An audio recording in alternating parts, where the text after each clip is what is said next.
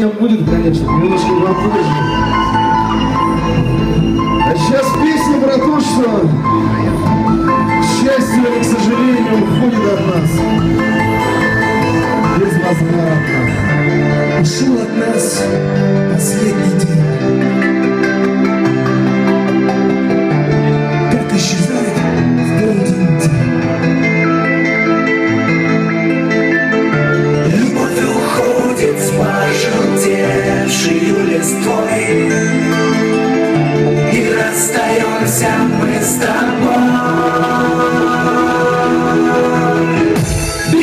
together.